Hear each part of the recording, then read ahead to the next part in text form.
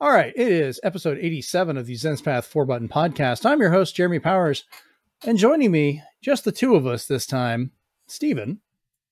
Oh, again, just you and I. Just the two, just goofing off and nerding out and just having we can make fun. it if we try. Just the two of us. Yeah, just the two of us, you and I. Um, all right, so we'll have a little bit more of a compacted show today, hopefully, but probably not because we like to talk a lot, and that's what seems to happen uh, on this lovely show of ours. But to start us off, let's jump in real quick to see what we've been up to. And Stephen, what you been doing? I've kept it light, uh, just because I've been doing a lot of what they call Steam Deck tweaking. Um, you know, it's going through cleaning up your library, it's adding files, renaming them, making sure everything's compatible. Um, Going into that, I have not uh, put the Street Fighter Six demo on it yet. I heard it does run Oh. on the Steam Deck, I but you do have that. to do some concessions and some tweaking, but it will run so you can play. Oh yeah, Uh, it seems to run at a 30, 30 frames per second. Um, but other know- than that, I have tried the Street Fighter 6 demo on both the PS5 and Series X. Mhm. Um, so far, I'm really impressed, especially with the amount of customization for characters. Um, I tried to make Princess Peach on one of them. It didn't work out very well. Her hair was blinding. Um, the only thing I can say about people downloading the demo is unless you're playing like um, offline practice mode or versus mode because it's just Luke and Ryu that you can pick. Um, if you play the world tour, as fun as it is, you're not allowed to use classic controls. You have to use their um, modern controls, which is basically light, medium, heavy, special. So it is very Oh. weird, and you can hold the button to do combos. You hold the button and press like light attack really fast, and it does a combo for you that ends with a special. So they Huh. baby you in the demo, but it it, it basically at least shows off uh, everything about it. That was my only gripe is you can't change it. It says after you beat the tutorial, yeah, you can change it now, but that's the end of the demo. That's the end of chapter one. Um, uh, Vampire Survivor: Tides of the Foscari came out. Um, I immediately um tore through that. I finished that. Got everything, all the characters. There was a good amount of characters to get this time. I think I've gotten Um, a couple of them so far. I need to go back. I haven't been able to play my Steam Deck in a about a week or so. And then, uh, and then I heard the news that it's been so popular that now it's going to become a uh, TV series and an, an animated series. So I hope for an animated, yeah. so that should be interesting, especially if you watch the uh, the trailer they put out on YouTube for Vampire Survivor. It was very well done in an anime theme. So I, I'm guessing like give it the Castlevania look, but not so serious, and you'll do great. um, other than that, um, I've had a bit, bit of bad luck this past week. Hmm. Uh, limited run games did change their shipping partners. Uh oh. So even though all my orders were were correct, somehow it reverted to an old address that I lived at two years ago. Oh sh. And it's been happening with every order that's been ready to ship. So I had to call them and be like, "What do I do?" Because post office says it's not them. So I did go to my post office website and make sure all those addresses are up to date and the rest of them are deleted. hmm and fingers crossed because it didn't happen until they sh- changed partners and be- and because it's under most of their games are under a pound um they ha- they had them disposed of so the tracking says it went to the wrong address and then it was destroyed Jesus. i was like my games Yeah. um Holy other than that i am promoting next weekend it will be the zelda splatfest so Still super jealous of that shirt, by the way. Uh, you can't get them at the Nintendo store uh, online and in New York. Um, and I think some some places are even doing voting right now. I think GameStops are having a little voting booth so you can vote for which piece of the Triforce you think will win. um, I think it's really neat. They're making making a specific modified map to look like the Triforce. So I'm looking forward to that. I need to get yeah. back on Splatoon 3. It's been a This is while. basically the calm before the storm in a couple weeks. Yeah. Um so for me, I guess we'll go into the Zelda stuff as well. You, I may not have that shirt, but what I do have is a lovely OLED system that I picked up this came out yesterday for well, yesterday for us, you know, whenever for you guys. But this is the Tears of the Kingdom. Let's say Tales of the Kingdom. Tears of the Kingdom OLED system. And if you're watching the video version of this, I'm showing it off for the heck of it. I love the pattern on the back. Those little, you know, circles and rings on there have a little bit of a texture. There's some little icons on the bottom of the controller that I haven't figured out what those are yet. They look like little letters or symbols or something. I'm hopefully that'll be explained in the game. Of course, the front, you've got the green and gold. It looks like the pattern going up Link's arm with his replacement hand. And the other side is gold and white with more of those circles. And then the dock itself has got those circles and this the lovely Triforce and other design in gold on white, and then little details of that on the back, just in the corners. So I'm really happy with it. It's uh, this is my first time getting an OLED. I didn't get one before because yeah, the screen is nicer and the 64 gigs versus 32 gigs of memory is nice. But I wasn't too worried about that because I already have a 512 gig SD card in it, so I'm more than enough for that. yeah. Um, and when you play these on TV, they don't play any different. So I held off on getting one until I was like, they're either going to make a Zelda or a Metroid version, and then all bets are off. And they announced the Zelda, and I was in. I had already pre-ordered it, got it, ready to go. I, I will tell you, your first time playing undocked on that screen, you're never going to be able to go back. It's beautiful. Yeah, I uh, I ended up giving away, or kind of giving away, my old Switch. Uh, my youngest son's best friend, basically one of my kids now. He's over here all the time, which is it's fine. He's a great kid um, he's always been really kind to my son and there when he needs him and stuff. So I made it a deal. I deal with him. I was like, Hey, hundred bucks. You can have my, my, you know, second generation switch, really good condition, Joy-Cons dock, all that stuff. I went ahead and cleared everything out and gave it to him today. If he actually pays me, great. If he doesn't, I'm honestly not that worried about it. I, you know, he'll get more enjoyment out of it. So I had to ask my friend Caleb, who uh, some of you may know from being on the show before.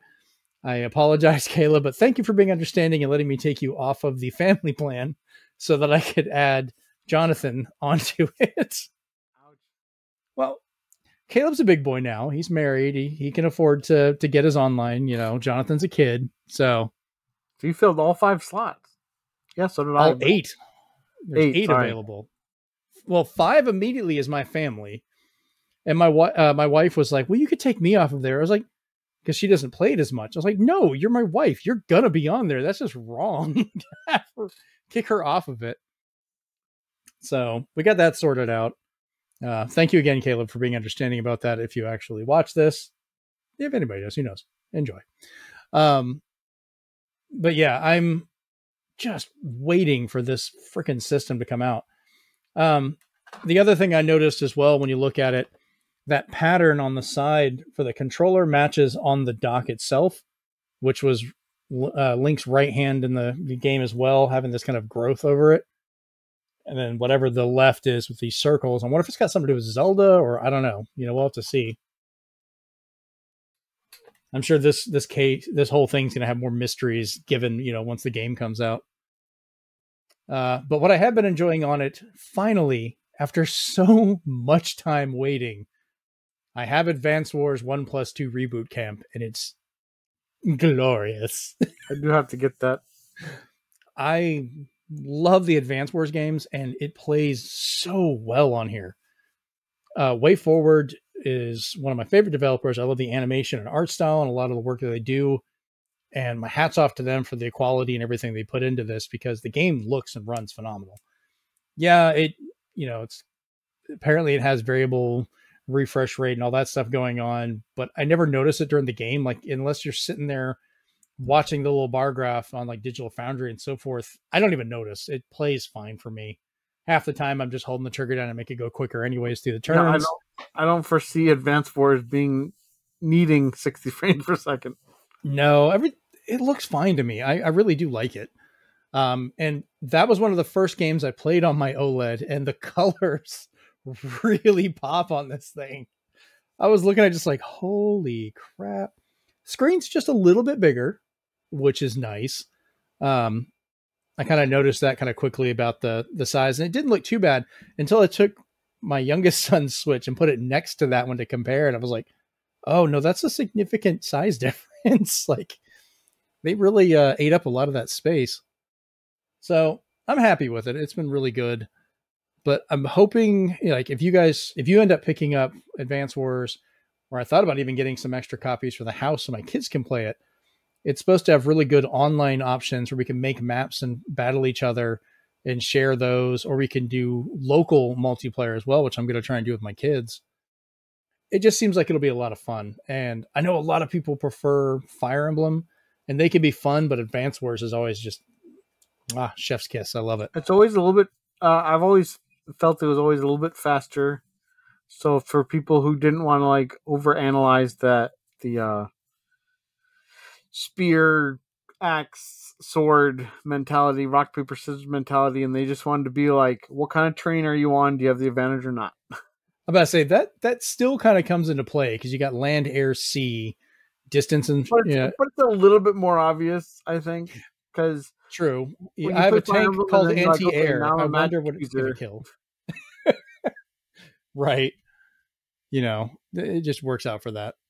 Um, the next thing is I've picked up recently a copy of Super Mario Brothers 3 for the Famicom, the original cartridge. I came across it in a local retro store and I went back and I was like, well, it, it plays a lot the same until I realized one thing and I had to go back and look this up. I didn't realize as much.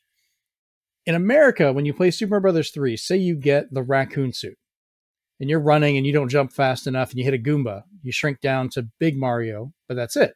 Then you get hit again, you go down to Little Mario. In Japan, they followed Super Mario Brothers 1 rules. No matter what you have, you get hit, you're immediately small Mario, and that's it. So it makes it a lot harder. So I've been uh, working on that on my AVS uh, Nintendo, playing that one just for fun. Uh, my other bit of Nintendo nostalgia been going down is I picked up where I finally got my Kickstarter uh, backed Game Starter or Game Master Classified. This is from Howard Phillips and Matthew Taranto. Uh, once again, bringing out the visual aid for this show.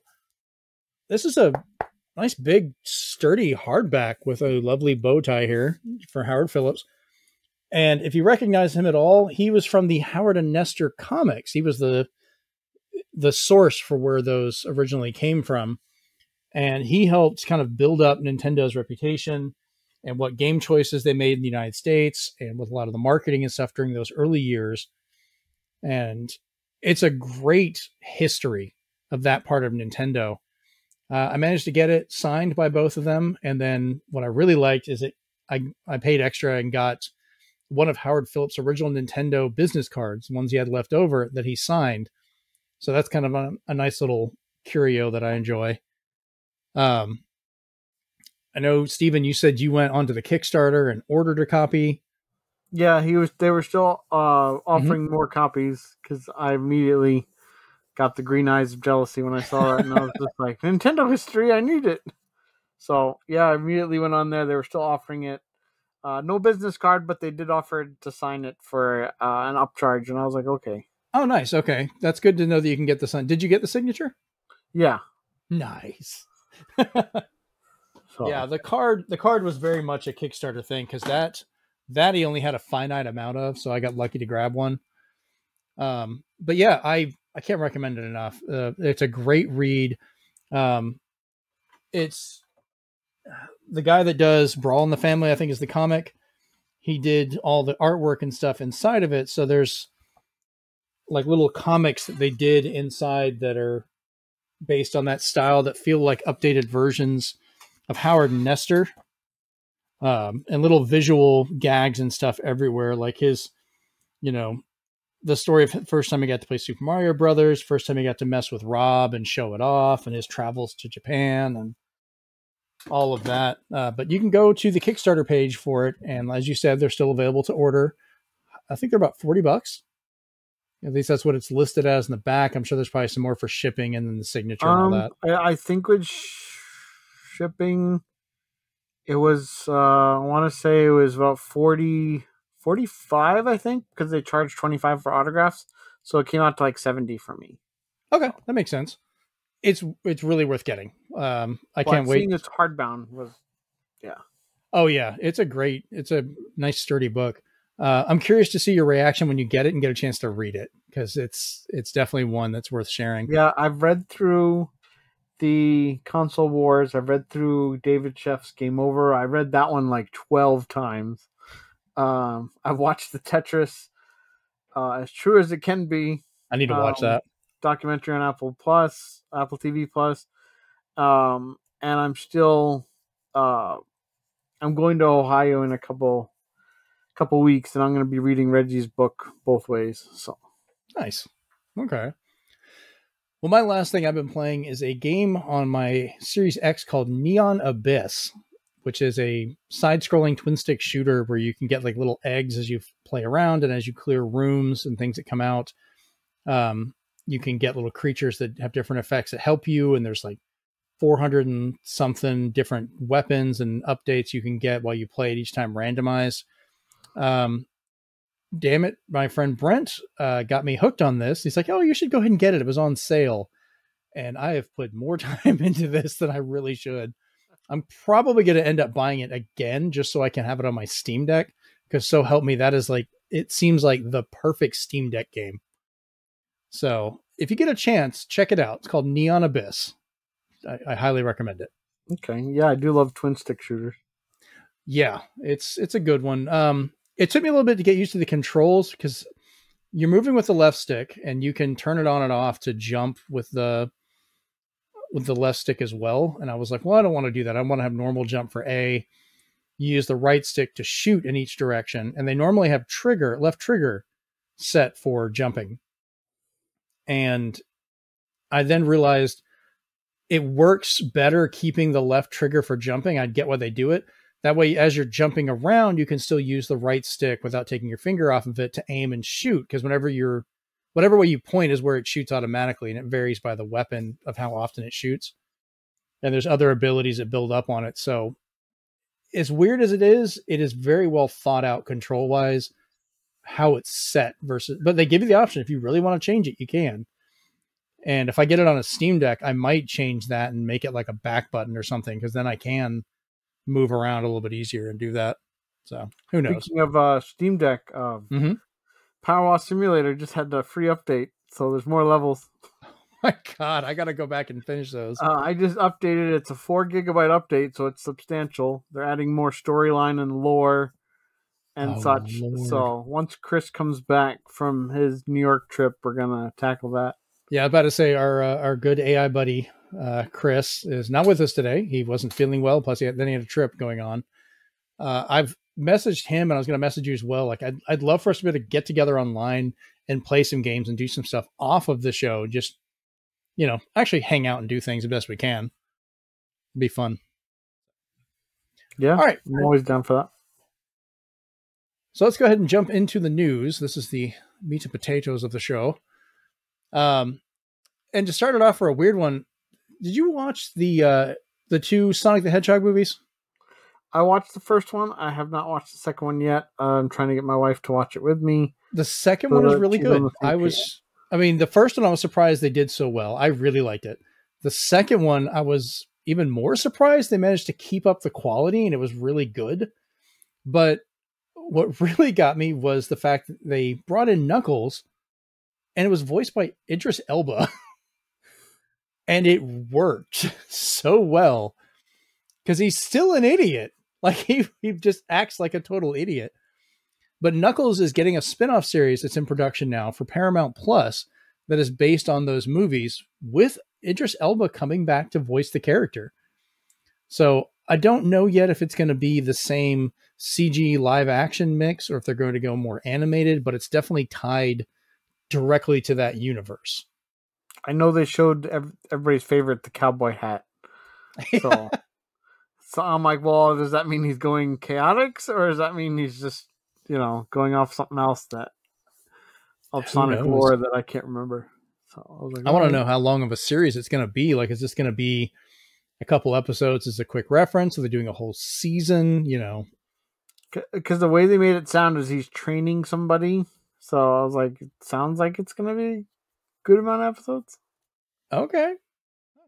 I'll have to see. I don't know. I'm actually I'm kind of hopeful for it just because they're doing a much better job stewarding the Sonic the Hedgehog movies than they initially were led to believe they were. So I've I've kind of built up some faith in what they're doing. Does that make sense? Speaking of uh, video game movies, though, they said on the track it's going right now. I think after tomorrow, uh, Mhm. Super Mario movie will be the first one billion dollar movie this year Yep. That is nuts. because it just came out in Japan and it's doing gangbusters. So I was like, "That's what we need." oh, I thought it was already out in Japan. It just added. Oh, no, it just finally came out in Japan. They had to wait longer, and their Wow. subway, their subways were full of the posters. Uh, my friend who just came back from uh, Japan, he said every time he went into a place, they had these pamphlets, just like you know, talking about the movie. Oh, he sent you one. Uh, so he sent me one because eventually you you you you unfold it, and I was just like, man, that's awesome. Oh, that is they're just giving these out on the subway while we just give out like pricing plans on our subways and stuff. man. I want one of those. He was just like, "Yeah, I grabbed one." I was just like, "Just one?" I'm gonna have to scour the internet. I'm sure I'll have to pay an ungodly amount for that and the question block popcorn container. Oh, That certain people don't forget have. the embossed one too. That one's hard to get. Rub it in. that one I had to get twice because the first one came smashed. Is that a reference? No, more ironic, but Yeah. All right. Well, moving on to our next little bit here. Speaking of Sega, they've announced that they're actually purchasing game maker Rovio, the company that makes Angry Birds, for $775 million. Uh, the acquisition is expected to proceed by the end of September, and Sega wants to benefit from Rovio's mobile gaming expertise while helping them expand its IP across different formats. So, I mean, I guess, you know, Sega's still doing something, but it's kind of sad to see. Like, it's good that Sega is going to try and get better help with mobile games and stuff and expand to that market. But the fact that just a few years ago, I think Rovio was like expected to sell for like billions, and they've already dropped down to 775 million, which is no chump change, but is definitely a drop in financial uh, revenue there. hey, at least Yeah. it's not NFTs. Thank God. Oh man. There's like a handful of places uh, of people that I'd rather them purchase than Rovio, but I guess if the next Sonic movie is gonna have all the Angry Birds in it, then that's fine. Are we gonna get a Angry Bird Sonic now? Like just a bird with a little his hair and a knuckles one that you throw. God, I'm not. I shouldn't give them ideas. Rovio presents Sonic Spinball 2 for mobile. Oh no, I love Spinball.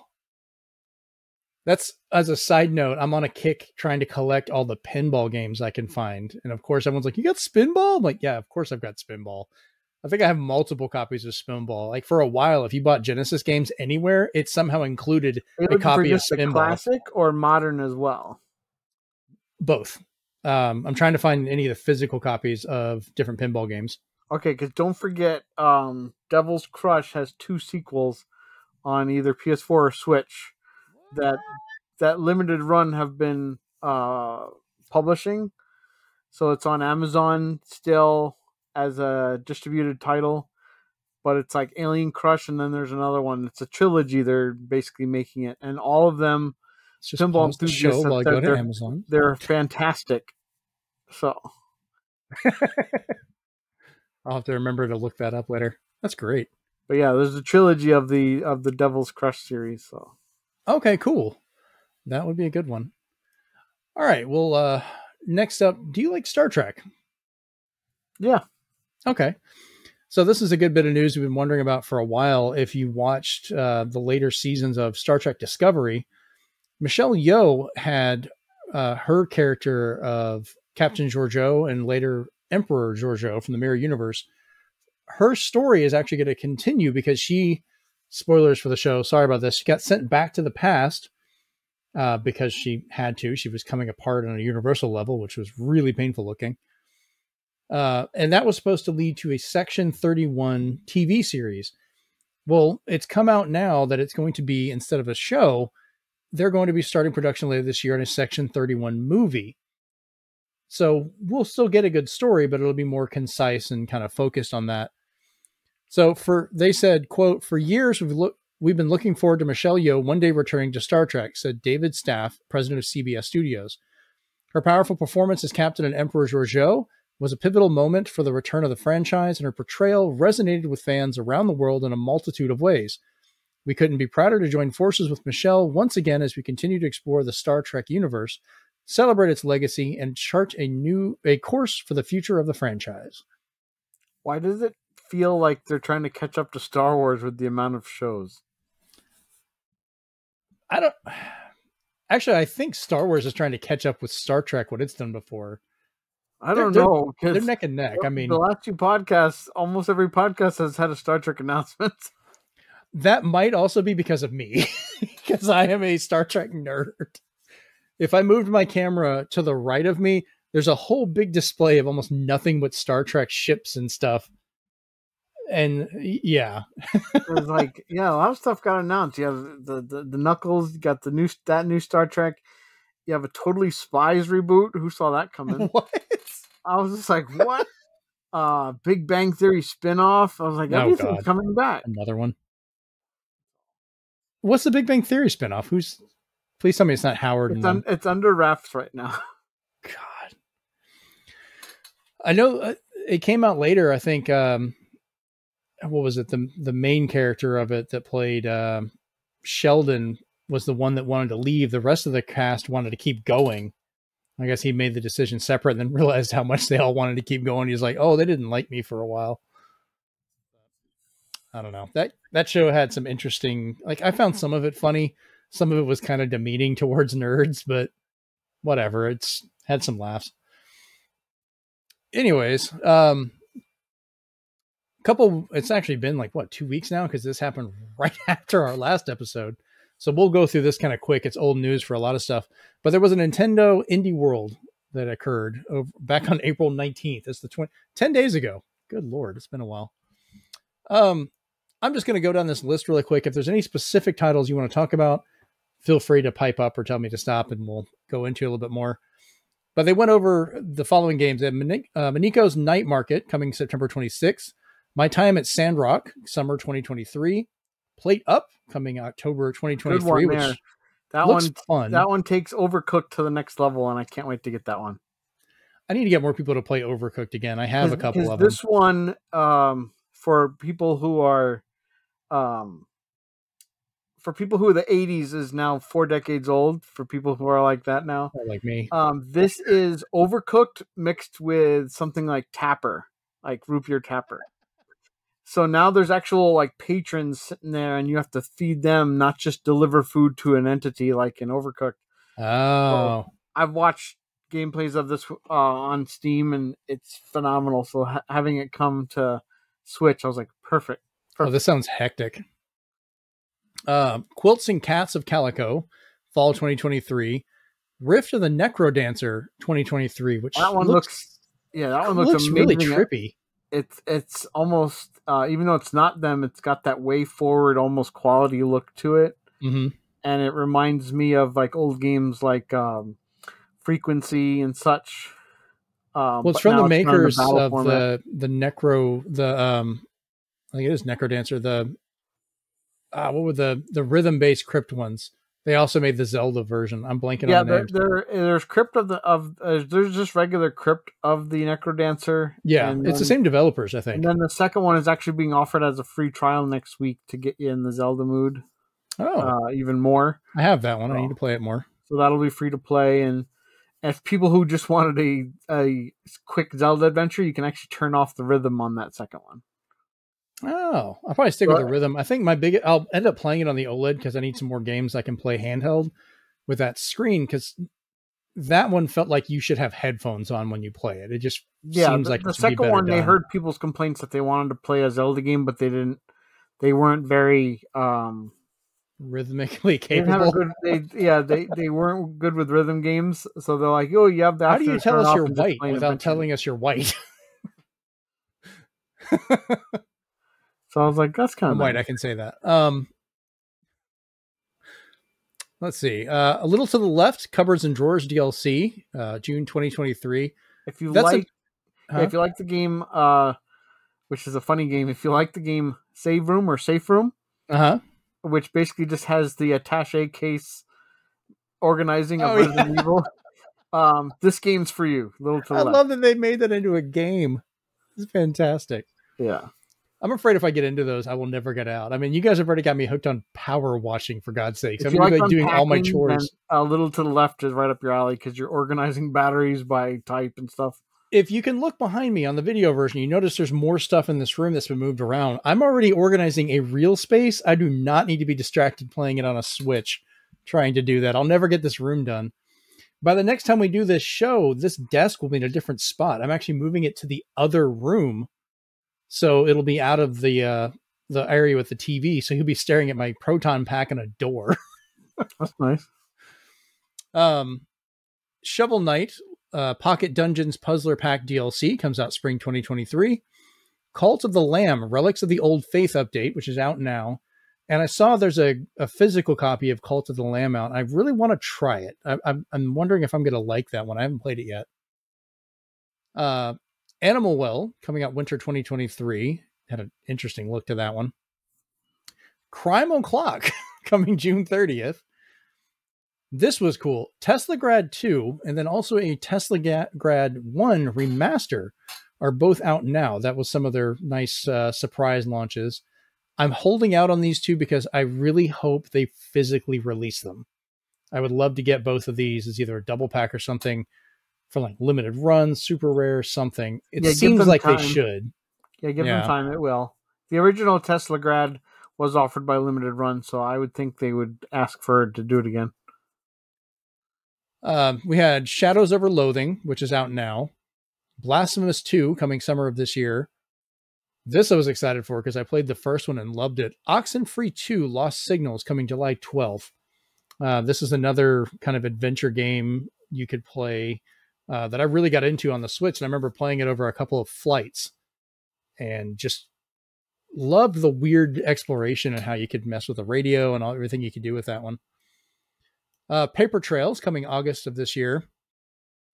Little Kitty Big City in 2024. Uh, it's just a cat running around. Like I'm, I'm gonna give it a try. Probably. It's the sequel to Cat Lateral Damage. No, not really.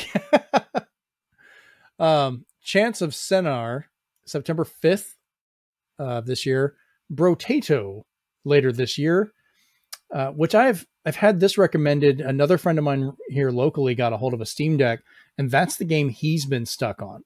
Is just playing Brotato, and he keeps telling me to get it. And I was like, I can't. I'm power washing, um, but we'll see. Maybe I'll have to get that one. Uh, Escape Academy, the complete edition, comes out. That's going to be great for people who need a good online together game. Mhm. So because you you can either play by yourself, but that's like playing Myst. It's better off played with a bunch of people because you're all walking around the room trying to solve the puzzles. That sounds that sounds like one we should play. The all of us on the show together, stream that or something, or record it. Yeah, that'd be sweet. That'd be hilarious. Lots of cursing in that, probably. Yeah. Uh, Five Nights at Freddy's Security Breach is out now, and I'm still surprised they're still making Five Nights at Freddy games. I've seen so many ridiculous Five Nights what- at Freddy toys like Yeah, I don't know recently. if you've seen, but they're thinking that uh, because that movie was announced that the Five Nights at Freddy's movie is going to overtake Mario. That's what people are thinking. Oh, there is I don't think no so. chance. I don't think so with the Not billion dollars, chance. but um, Will it hey, be popular? More Maybe. successful video game movies. Let's do this. Yeah. I'm all now this last one, this I was excited for. I've been wanting this game for a while, and I love seeing it again. Bomb Rush Cyberpunk, coming out mm-hmm. August 18th. This is the rebirth of Jet Grind Radio that I have wanted. It's got the similar cell shaded art style with the simplified 3D polygon models, the great music, the jumping around, you know, like the skating and inline skating and all that with graffiti while avoiding the cops. I mean, it's basically Jet Grind Radio without the license. It's it's that spiritual successor, as they always say. Um, I will double dip on this. I will get it the day it comes out digitally, and if there's a physical copy that comes out, I will get that as well. Like I want Nice. this game. Uh, are you interested in this one at all? No, uh, the Jet, seri- the Jet the Jet series has never been my cup of tea.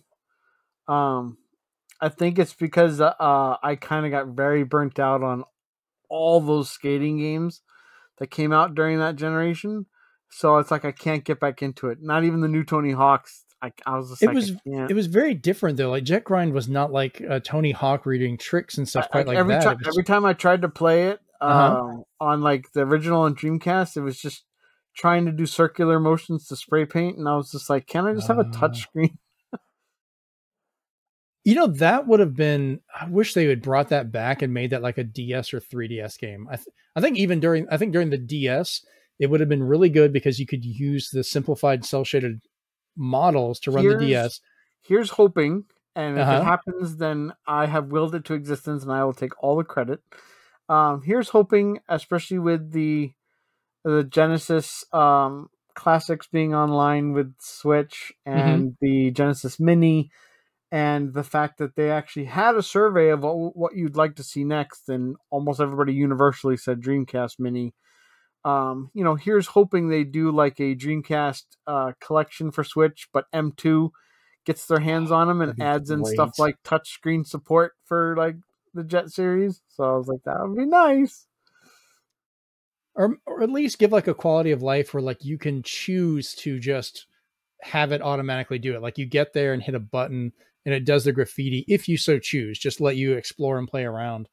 I'd be fine with that. Like I would probably keep the yeah. motions on because I always remember those and I'm fond of them. But if that's what's stopping you from playing it, turn them off. It's not that big a deal. You know, if if the Switch is just like we're gonna be around a couple more years and you're already this old, like that's the only way you're going to get people to keep coming back is if you like, oh hey, we have remember this game? We brought it back again. they could do it. So Yeah. Um, it wasn't a bad Nintendo Indie World. Um, I wasn't super excited for a lot of the stuff, but I'm. I mean, I did hear a lot of good things from people. How did you feel about it? Like, was it something you really enjoyed? Um, I always like how they present it because they kind of um also interview the developers Mhm. and tell them how they're going through. So like the My Time in Sandrock is a sequel to My Time in Portia, where they've listened to all the feedback and kind of made all these um improvements and quality of life stuff and just gave you a new area to play in. So I've always liked that, and usually there's something that hits for everybody. For you, it was Bomb Rush. For me, it was Played Up, where I was like, "Oh my god, finally! I didn't know that was coming." um, so it's nice seeing those, and or that they were even working on a remastered version of Teslagrad was pr- very. that neat. was great. I still follow the creator because I just I like seeing his stuff on Twitter and stuff. To hear him, he'll show off like, here's how I tried to animate this, or this is what I did when I first designed it. Like the guy's really friendly to talk to, so it's it's kind yeah, of the, it's great to so see that. Uh, so far, from what I've seen, unless it's the companies themselves, Nintendo's the only one that constantly wants to remind everybody of all the indie games. So Yeah. I do appreciate that. it's it's a really good way to to run those on the Switch as well because it's a nice collection you can get that doesn't tax a lot of the system. Yeah. You can be creative. They get you know the ability to play those, and even if they're not exclusive, just that portability, unless it's a Steam Deck, and even then a Steam Deck is nice, but it's trickier to just get it onto a TV. You know, you have to have another computer basically to make it easier to play it that way. And I just like dropping the dock in and being done. You know. Yeah, I had to pay separate for my Steam Dock. I got a Steam Dock as well, but it's still I still can't get it to scale correctly on the TV. Like it has issues with that. Like I can play it on there. It works really well with a 1080p screen. Is it um is it a third party or is it No, it's official. It's theirs. Uh, Cause I remember mine scaled perfectly, but then when I went to desktop mode, I had to reset. I had to set the resolution so it appeared on my 4K TV properly. I got to look and see because I tried to play. I was playing Vampire Survivor and tried to put it on the TV, and it only took up like a small section. And I was like, "What the crap?" So I went and looked to Oh. try and scale it. Tried to look at options, and I just. I'll figure it out eventually because one thing I did get, uh, and this I tried this with or without it. It doesn't actually affect the signal, but I got a 16 by one HDMI switch, which is great. Dude, I cannot recommend this thing enough. I'll have to send you pictures. I have so many things right now. I have my PS5, my Series X, a Vita TV, my Switch dock, a Wii U, a GameCube, um, my Analog Pockets dock, my Steam Deck's dock. Um, that's eight things right there. And then I had some other stuff hooked up, like, and I still have so many more ports. But they'll automatically switch, or I can manually switch it. But that that's made it really nice to kind of keep those around and try and make it plug and play. So I'm hoping I can figure it out here soon. All right, let's move on to the next little bit we have here. And this one kind of caught me by surprise. Like I'm I like Pokemon Go and I like Monster Hunter. Did not expect those two to ever come together because Capcom announced Monster Hunter Now, uh, which is coming September 2023. This is a Pokemon Go style mobile game being made by Niantic, the same company that makes Pokemon Go that will allow you to hunt monsters in the real world like you catch Pokemon in Pokemon Go. Um, they didn't show off like any videos or anything about how the game will play, but they did show they had like a uh, an open beta you could sign up for, which I did sign up. I'm going to see if I can get into that just to see what the heck this is going to be. I heard the invites went out, so maybe Ah, maybe we're wave maybe we're wave two. I'll I don't know. in Uh, when I see this, uh, at this point, uh, Niantic, Niantic is treating their uh, proprietary technology, whatever you want to call it, as Tetris 99. They're having uh, theme packs. So, okay, let's recap. Yeah. So you you had the original one, Ingress, which is an anime now. What? Um, Hmm. then you had Pokemon Go. Then you had Harry Potter. Then you had um, and, and now cur- concurrently you have NBA 2K. you can walk around and, and meet What? NBA superstars. and place. Look it up. It's sickening. I don't want to. And then now we have Monster Hunter now, and I'm like, how many? Like, I know it's just a new coat of paint over your technology, Niantic, but are, are you okay? Could you have people looking at all those servers at the same time? Because that's a lot. I remember they also I said- I don't remember I didn't hear if you mentioned it, but like Pikmin Bloom is another one they do that uses some of the similar stuff. But thankfully, that one's not technically catching, so it's not so bad. Like, I don't need to be like, Yeah. pull over, I need to catch this thing. Like, It's they're making so many of these. Oh I'm like, dang, Niantic, what are you. Yeah, so we're we're gonna keep an eye on that one. I'm curious to see how it goes. But there was some other Capcom news that we had that uh that you were gonna bring up. So why don't you let us know what we got here? So uh, much like the um, the heralded blue check apocalypse, 420 also brought us the Street Fighter 6 showcase featuring Lil Wayne. Um, he was just there to say the game's awesome and to introduce the developers and creators. So I was like, that's all I wanted from him. That's, That's, great. fine. Um, but some inter- interesting stuff. They really went in hard and talking about World Tour mode hmm um, going into the amount of customization you can do, which is beyond anything I've I've seen in a while since games like Black Desert, where you could just sit Oh, down wow. and do the width, the opaqueness, the hue of just about everything. You can have eyes two different colors. It's it's insane the amount of stuff you can do, and these things will appear as your character in real time cutscenes. Hmm So it's really cool to see that. Just make sure your character looks good because otherwise you're gonna, uh, if you make your hair like I did, too luminescent because I tried to make Princess Peach, you won't be able to really see much of the background because it's too shiny. Um, but they they went into that. They just talked about how um, the versus mode and uh, online would work a little bit more. They said they do have a mode for people who are um, blind. So it's entirely audio based of how close you are, what kind of attacks you do. Um, so there's there they showed off in the uh, showcase all these different tones that would play, so that somebody who can't see can actually play Street Fighter, which I to me is insane. I'm Oh, like, wow. good, on- good on them. I can't wait to see somebody like delve into that. Um, and then they went into uh, talking about uh, what they have planned next. They showed off four new characters. Um, most people, if they followed the leaks, hmm kind of knew who was coming, but not when. So we announced that they were getting uh, AKI, which is uh, a new a new character, Ed, which is also a new character. Uh, the first one we're getting is Rashid, so Rashid's coming back uh, this year, and then towards next spring we'll get Akuma. So everybody was, Akuma. you know, and he looks like he's basically just came out of the jungle. So, Beast mode Akuma. but uh, yeah, then they ended it saying no, we're not giving out any more betas. Uh, we've had our tests, we're good to go.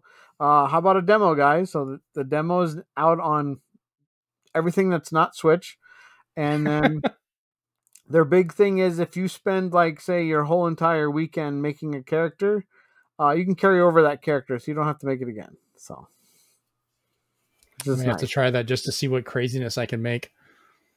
it's. remember remember what you do and remember to hit the undo button right be, right after you switch something. Otherwise you'll lose which of the 38 eye shapes you did which of the 45 haircuts you did. It's it's easy to get lost. I'm going to make a spreadsheet and just keep updating it in Excel while I'm doing this. well i look forward especially seeing what people did in games like uh dreams um soul calibur I was about 6 like, Soul i Calibur can't, I can't ones. wait to see what people get done in this because i know to get clicks to their website or to their account they're gonna post like this is what everything must be to look like that character and i'll be right there like all right i'm gonna make that character it's pretty It's neat. gonna be a race to the bottom to see who can make the most ridiculous looking weird character or who can make a person look like a penis first. I'm sure they'll do it. All right, what else we got? Uh, Capcom news wise. Um, well, they just announced on on their Japanese account on Twitter though that uh, the Battle Mega Man Battle Network collection uh, has sold over one million units, and for That's just a a collection of Game Boy Advance games, uh, that's pretty darn good. And you know, with Capcom Arcade Stadium, the first stadium, the second stadium, and now this all doing gangbusters Mm-hmm. um you know hopefully this puts and fighting collection of course uh, hopefully this puts capcom in the mood to like wow we can you know we have a whole farm of cows we can milk let's just go to our next legacy collection and and and milk it so i was like yeah bring it Yeah, I just beat 'em up collection anything yeah, I just I wish they would release more of them with physical options because like that the fighting collection. I was glad they did that. And of course, you know we've got the different cap uh, Street Fighter collections and stuff that they came out with that were actual physical ones. I debated. I'm still debating if I'm going to get the Mega Man Battle Network because I never, I never was a fan of those games because it was kind of out of my. I wasn't part of that age group that really got into those. I was more of the actual like action platformer Mega Man instead of I had to get it like because they- they sold out of the, they actually sold out of their first print run oh sh! so so it's it's extremely hard to get and the only place that had it left was gamestop so Oh, Damn. So I rolled the dice and, and got a sealed copy instead of a uh, stickered copy. So I'm happy about that. Um, but they said they're going to print more in Japan. But Mike, you didn't say anything about US, so I'm going to go pick up a copy right now. I guess I'll have to keep an eye out for that one. I guess my my hesitancy is going to bite me in the butt on that. It's one of the few. Like I haven't seen many things go out of print, but usually the out of print stuff is always NIS America, certain Capcom games, and Atlus. Yeah, those usually go pretty quick. Or if it's a Mario 3D collection, uh, it just disappears from the world. That thing used is like 80 bucks now. It's ridiculous. Uh, all right. Well, next up, Netflix has announced they'll be ending DVD rentals this year after 25 years and will wind down DVD.com. For one, I didn't realize Netflix even was still doing DVDs. I thought they stopped I that years know ago. DVD.com was a website. apparently they had it. Um, the final discs will be sent out September 29th, 2023. I guess that person gets to hold on to it for a while. And do they have to, do they have to send it back? Do they get to keep it? I wonder. I want to know what the last one's going to end up being. But they shared a couple of fun little stats that were just pointless, but kind of entertaining. The first DVD they shipped was Beetlejuice on March 10th, 1998, which interesting choice. Number of DVDs shipped is 5.2 billion plus. Uh, the most popular title was The Blind Side. It was Sandra Bullock. Yep. Yeah, like why? Uh, number of supported genres is 20 main and 530 subgenres.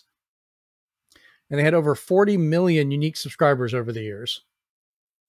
And I remember we had Netflix for the DVD option for a while, but as soon as the streaming popped up where I I had it on 360 because that was the only one you could have it built in. And then I had this I still have the streaming discs for PS3 and for uh for the Wii. I still have both of those with their cases yep. and stuff. I, ke- I kept mine too because I was like, yeah. I was like, these are relics of the past. I'll keep these. That's yeah, that's why I kept them. I was like, these are pointless, but they're kind of funny to look at. So still have them. But yeah, that's uh the end of that. Uh, a little bit of sad news here. James Carter uh, Cathcart, he's the voice of Professor Oak, Gary Oak, James, and Meowth, is retiring from voice acting because of an advanced form of cancer has spread to his throat. Um, he's been voice acting for 25 years now. So, uh, I mean, I, I, one thing he's been doing for so long, he gets to retire, but it's not a good reason to do so. So, so I remember yeah, back when the Pokemon. Yeah, very much so. Because I mean, especially for a voice actor, that being where the cancer goes, you know, that's that's literally a worst case scenario for a lot of that. So, yeah. hopefully he recovers. Who yeah. knows? Maybe if if somehow he he's able to overcome it or recover, maybe he can get back into voice acting. Um, but this might just be. I'm sure he's probably, hopefully, doing well. I mean, I don't know if he's got paid well, much for the those roles. Part of me wondered if he has the same throat cancer that Val Kilmer has. Oh, good point. Um, so it's one of those like if he can get better, he can get better. So it's like okay, fingers crossed for both of you guys now. Yeah, well, Val Kilmer got better, but not quite. Like he's he's done for a lot of stuff. I think his his appearance in Top Gun that took a lot of CGI and you know, bringing back his voice by like AI means and some other stuff. But yeah, I think he's he's pretty well out of that one. Um, so a little bit of interesting news in the toy aisle that came up, uh, and one of our Discord people sent this to us as well, which I appreciate. Mattel and Hasbro have made a licensing pact to co- uh, create co-branded toys and games with tie-ins to both brands' movies that are coming out this summer, which includes Barbie and Rise of the Beast from Transformers.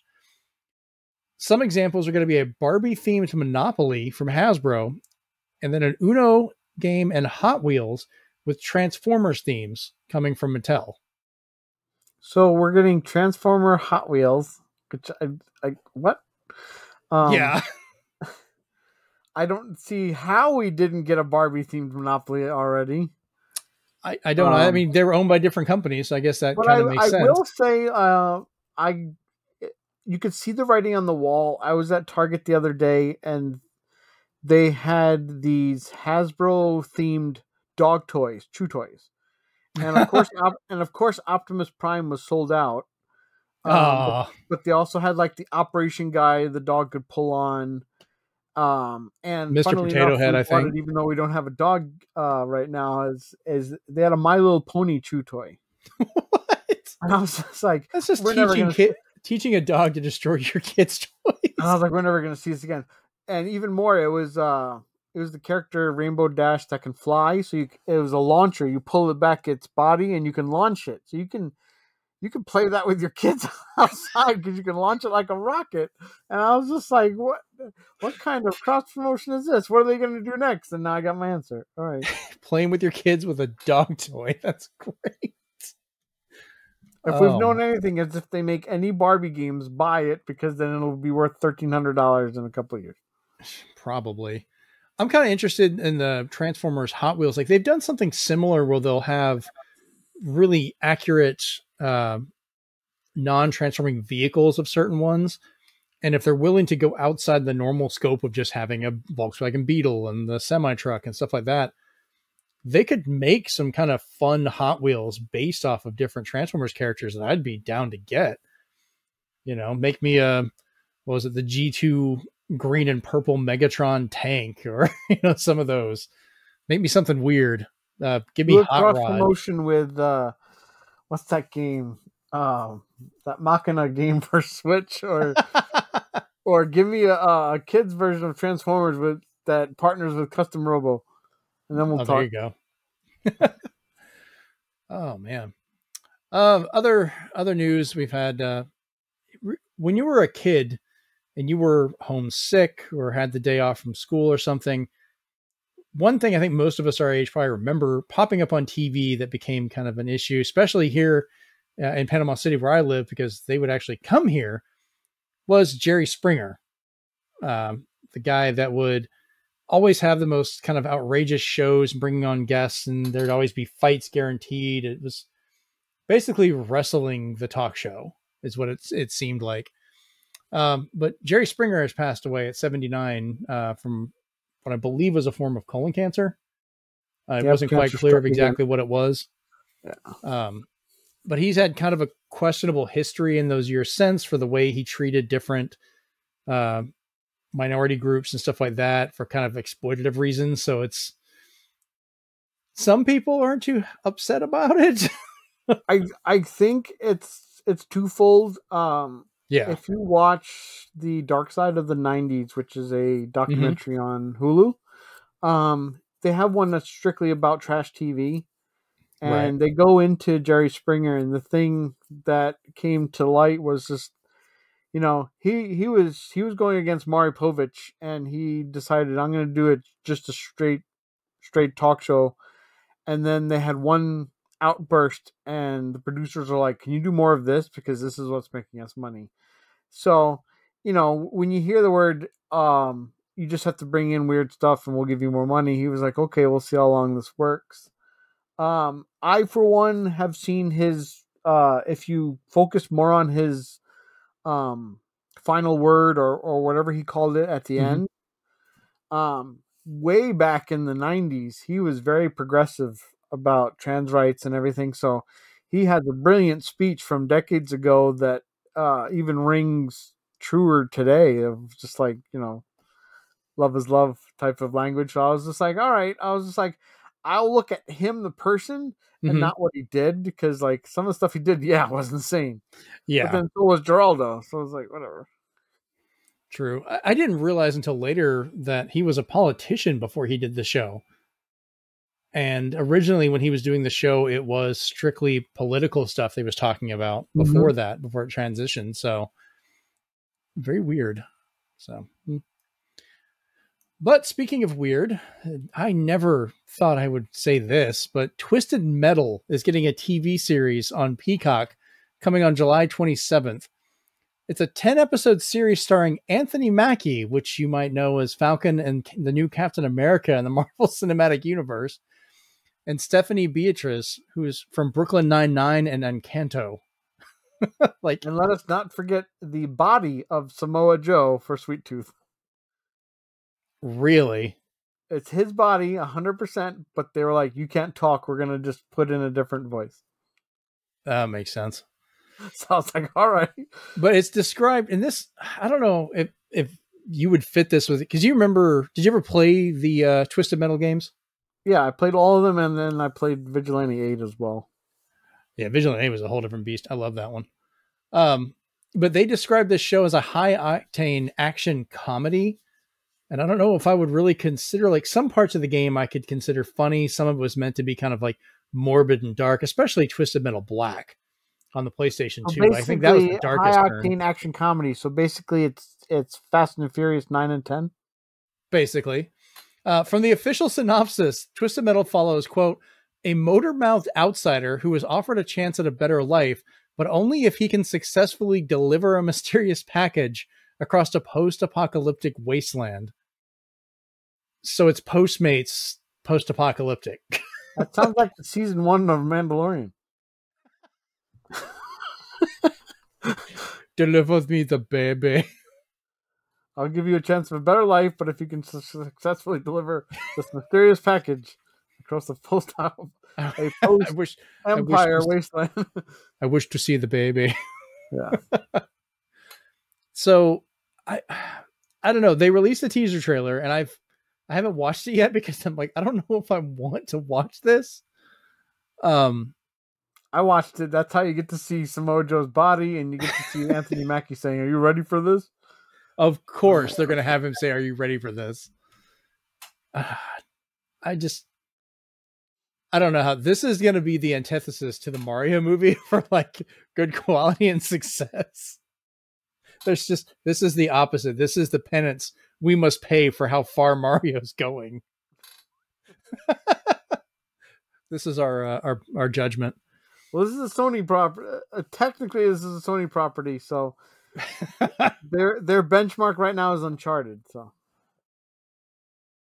uh, I'll, I'll, put their benchmark on uh, The Last of Us. That was okay. Yeah, no, The Last of Us was really well done. They they understood it. They I, got I, it. I forgot about that. So yeah, yeah, it's it ebbs and flows. So you have Uncharted was down here, and then Last of Us. So it's okay. Yeah, I haven't seen Uncharted yet. That's one I'm. I don't know if I want to watch because I'm like, I just I don't see him as Nathan Drake. Like he just. I think he's a good pick still, but I know everybody would have preferred Nathan Fillion, but well, he I think he's gotten there. too old for that. That that that time has passed. I think he's getting up there. So, but we have other movie news that I wanted to kind of bunch together here. A couple of surprise announcements because we had uh, CinemaCon that happened recently. Yeah, and these were only in a uh, this first one was only in a sizzle reel to give people enough hope. So yeah, but it was officially announced. But Beetlejuice two is announced as being in development by Warner Brothers. Michael Keaton and Winona Ryder are supposedly returning for their roles, with a possible role for Jenna Ortega, who's coming from the Netflix Wednesday Wednesday series. Yeah. The last I heard, she was supposed to be uh, Lydia's daughter, and Winona returns as you know Lydia, obviously. Okay. So uh, I'm okay if it if it's made as a continuation. I'm all right with that. Yeah, we'll see how that goes um with our like watch uh winona die and have to deal with you know dealing with beetlejuice while trying to contact her daughter or something well i think i think uh the um the caretaker the one that was in the paranormal side uh-huh. smoked a lot she she passed away recently uh, right but uh i think everybody else could technically come back oh wow okay what's Geena davis doing you know Not much. Not much. Yeah. We'll have to see. Uh, Transformers 1 was announced by Paramount Animation, Hasbro, and E1 coming July 19th, 2024. The voice cast for this one, because this is supposed to be a younger origin story for a lot of the Transformers. So Chris Hemsworth is Optimus Prime, Brian Tyree Henry is Megatron, Scarlett Johansson is Elita, Keegan Michael Key is Toad and now Bumblebee. Jon Hamm, which was a surprise, is Sentinel Prime. Laurence Fishburne is Alpha Trion. I'll laugh if they don't even change the voice for Bumblebee, and it just sounds like Toad again with a metallic metallic echo. I, I have a feeling he'll use a different voice, but it's just it's really funny that you're going to be like you're going to look at Toad and you're going to look at Bumblebee and be like, those are the same person. oh yeah, there. I'll I'll I'll probably uh, link you to the Twitter post of somebody as soon as somebody imagines them together. Yeah, they'll just have Toad with like a optim like a bumblebee face on it or something. yeah. Oh man, like I'm curious to see about this one. I love the fact somebody, and I don't know how they let this get out. Their marketing group actually put out an announcement saying this is the first Transformers animated movie, and everyone's like, no, like that's because if people want to don't want to remember the other one because it makes them cry. I want to remember. I love that movie. I almost bought it again today. I have it on like almost every format. You've got the touch. Yep, I even have the soundtrack on on vinyl, which has that, that song. That also has Weird Al's "Dare to Be Stupid." It does. it's okay. great. That whole album, it's wonderful to listen to, but it is so 1980s. I told my kids like when I play this, we are just an 80s household for a while, for the next hour. Um, Good music though. But I have I've got that movie on VHS, DVD, Blu-ray, 4K, digital. Uh, I'm looking for a laser disc, trying to find that. So it's like me and the wizard. Okay. Yeah, exactly. Um, and I want to find the Japanese laser disc because it had like the really nice painted artwork on there for the Transformers. That's some stuff I'd hang up on the wall in those album covers. nice a little bit less likable, but interesting at least, is Transformers Rise of the Beast trailer that came out. Uh, this one finally released to show more of the series that's coming out, but most importantly, we finally have an accurate Unicron, which is great. Uh, you actually see him starting to devour a planet. Um, they have what looks like Scourge, uh, which is a weird take on his character, but Scourge was one of the sweeps from back in the 84 movie that were reformatted by Unicron. A couple of the old Decepticons got reformatted along with Megatron, who became Galvatron. Um, there's a famous scene where Galvatron is sitting there and uh, Unicron is transforming in front of him. You see like his chest open up and the little parts. Something like that happens in the trailer, but it almost looks like eyes, and I'm kind of hoping that's not Unicron's eyes because they look silly. Um, but we got to see a couple more of the characters. Uh, there's been, a bit of a controversy with Wheeljack with his design. Um, like okay, if you're gonna if you're gonna be upset by a character design, I get that. A lot of people will be annoyed by stuff. Like, there's no need to kind of mock the people that are upset about it. They're not like they shouldn't be like angry to that point. But when we had a really nicely done G1 accurate Wheeljack in the last movie this is attached to, Bumblebee, we kind of wonder why we're getting one that doesn't really have the little, you know, the way his head was shaped and has these big ass goofy glasses. Why does a robot need glasses? it's just adjust the eye. um, it's just a well, weird design choice that isn't necessary. I'm kind of excited that it's at least not Michael Bay touching it, and you can no, it is. Tell... No, it's not him this time. Yeah, he took over the Bumblebee series. No, no, I mean he's not part of Rise of the Beasts. It's a it's a totally different guy. There's there five people wrote the screenplay, but he's uh, not attached to this one.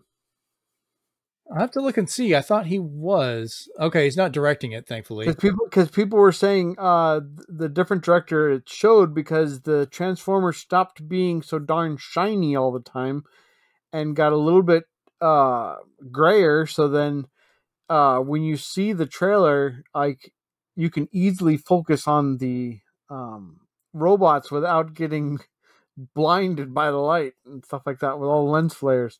Yeah, it's still his production company and he's still a producer on it. So I guess that's kind of where his his fingers get into the mix. But he's probably like you have to include explosions and they're like, all right.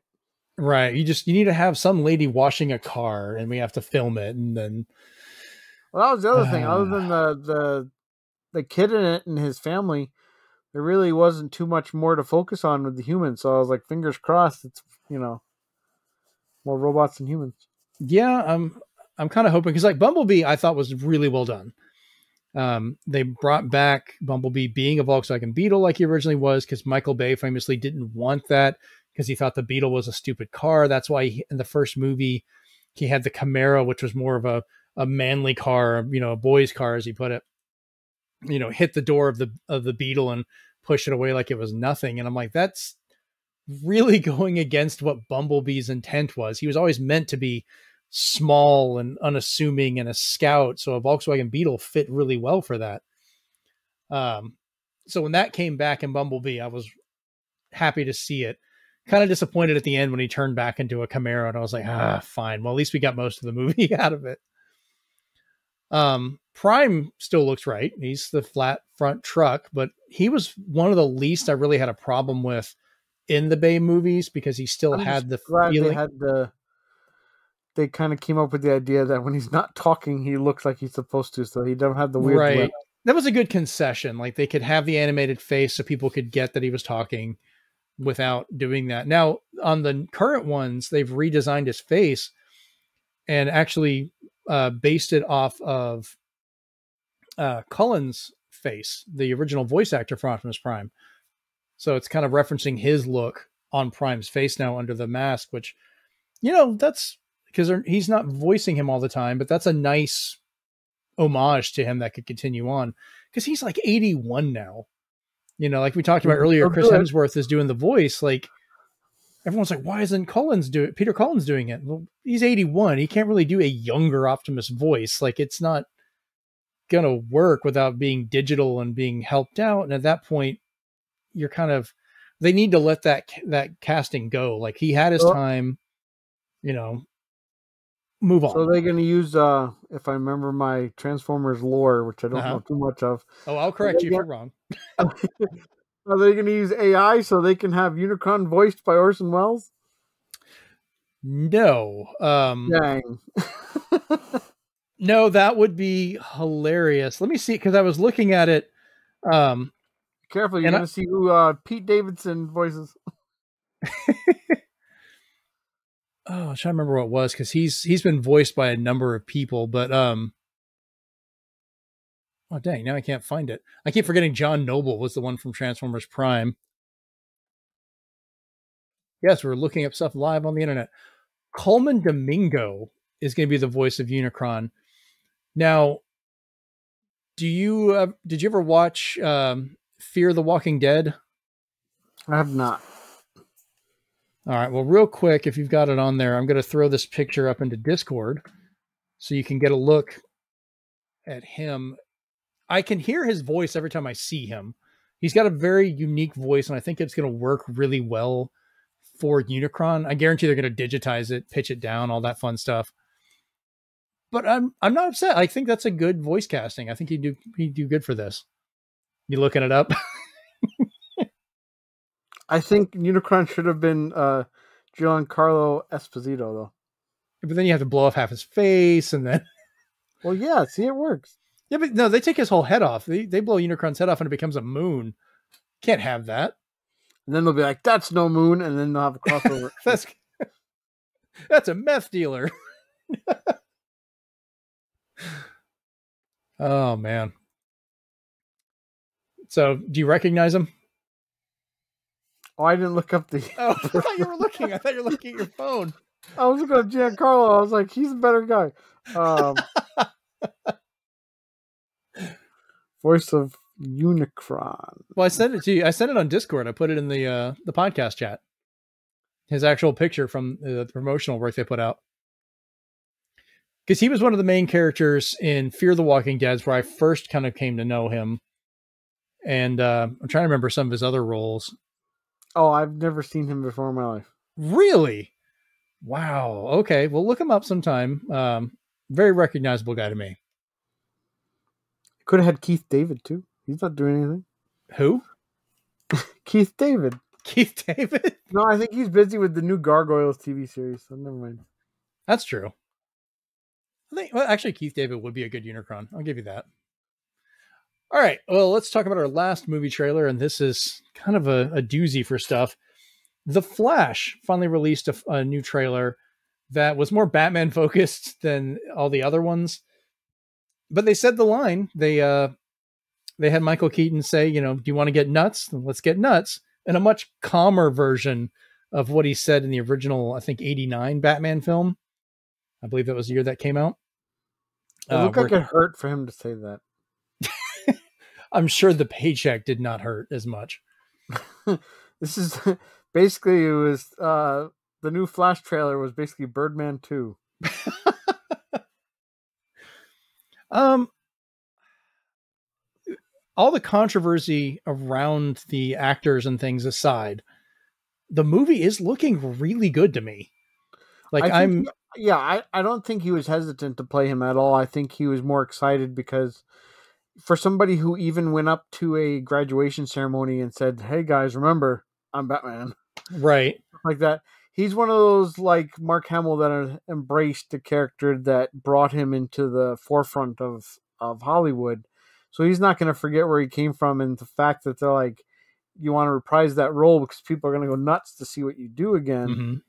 and uh, they're already picking apart the trailer and they're like hey look in the beginning you see the suit that he uses guns so Yeah, it's a throwback uh, to his year one stuff, and they've got and and then you're just so like, much. you know unless you're into funko pops or lego then you're just like okay what what are you going to what are you going to bring me um to take my mind off the flash other than batman Yeah, uh, do whatever you can not to look at the Funkos and the Lego sets because whoever's in their marketing department does not care about spoilers because they've just blatantly put out a main villain and a lot of the plot twist with it. And you're just like, why did you guys put these out already? Like, you could have put out the toys of the Batman, of the Flash, and stuff like that, but the other characters, you should have waited until after the film came out. Like, why is that so difficult? uh, I know this movie's been in development for so long. Um, it's their best excuse though to give this whole thing a reboot though. True. I mean, Flashpoint, that's the whole purpose of it is to kind of restart everything. DC did it with the new 52, which this was kind of their first big uh restart of the DC universe in the comics since Crisis on Infinite Earths, uh, which is another really nice hardback cover collection I have over on my shelf too. All the artwork on the cover by Alex Ross. Get it? It's really good. Wasn't a bad um wasn't a bad CW special either. Surprisingly not bad. Um and also the one and only time Kevin Conroy got to be Batman in a live action and ended up being an evil ass Batman too, which was great. Uh, I'd rather remember that as his final Batman thing than whatever the Kill the Justice League is going to end up being. Ugh. So I don't know. Uh, to end it off, are you excited for the Flash movie? Is this one you're still looking forward to seeing? Uh, it's hard to say. Like, uh, I think because this one's gonna finally be part of James Gunn's vision, mm-hmm. is I'll probably go see this one. Because Shazam, they were just saying, "Well, it's done. We have to release it," and now it's the biggest bomb in DC history. So I was just like, eh, "Never mind. I'm not gonna go see that. Uh, I'll watch that on uh, the um, Discovery or sorry Max. Yeah, whatever the and, hell it is uh, this week. So Max, I'll watch it on and. uh but I was like, this other one, I was just like, there may be a little bit of FOMO there if I if I don't see it at some point. So I was like, yeah, I'll watch this one. Um, I think it's coming extremely close to a bunch of movies. I think every week in June is supposed to be a huge blockbuster, so it's gonna have some insane competition. Because I think even Transformers: Rise of the Beast is right up against the Flash. So Oh, okay. They're like within seven days of each other. So like, uh, uh, okay. Well, definitely. I guess that's two weeks of me watching movies. I'm gonna go see the Flash in theaters. Probably gonna go see it in IMAX when it comes out. Um, definitely see that. Probably gonna go see Trans uh, Rise of the Beasts in IMAX because even though I'm questionable of whether it's gonna be good or not, because some of these Transform movies the past couple of years have hurt me. um, I would say that I'm still one, gonna go though, see them if you have a AMC theater and they have that Dolby Cinema, mm-hmm. go see it that way because those theaters they make the bass so hard that something like that when like a transformer jumps would be amazing. I don't think we have an uh, AMC theater like I saw anywhere both near Avengers here. movies in Dolby Cinema and it was incredible because every time like a hammer hit somebody in the face, uh, Thor's hammer or anything like that, it was like a huge boom, and I was just like, all right, okay, now I know which movies I need to pay the extra for and which one I just go see it. Yeah, the only AMC theater we have left is the one that was rebuilt in our mall that was destroyed by a hurricane. So it is oh. like cheap, kind of low end, like dollar theater style. Like it shows newer movies and it's good for just going for like family groups and stuff. But there's no actual really good AMC within like 100 miles of here. It's ridiculous. Oh, like Panama City has not rebuilt anything movie wise. Like we used to have three really good theaters, and they were supposed to be building a new IMAX here on this side of the bridge, so we don't have to drive all the way out to the beach to go out there because it's like an hour drive to get to that one. And they keep stalling on construction. And then the other good one that we had, uh, of course, because this is the freaking Bible Belt uh, it was rebuilt as a church. It was such a good theater. It was the one I got to see all my Star Wars movies in, which I will say is the closest thing I've had to a religious experience, getting to watch all three films three nights in a row at midnight showings all by myself.